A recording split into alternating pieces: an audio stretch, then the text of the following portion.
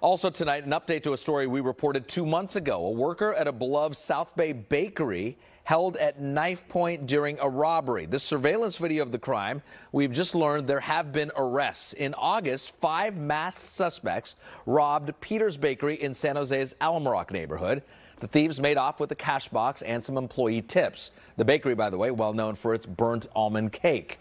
During the investigation, officers learned the same group robbed Arteaga's Food Center 45 minutes before hitting the bakery.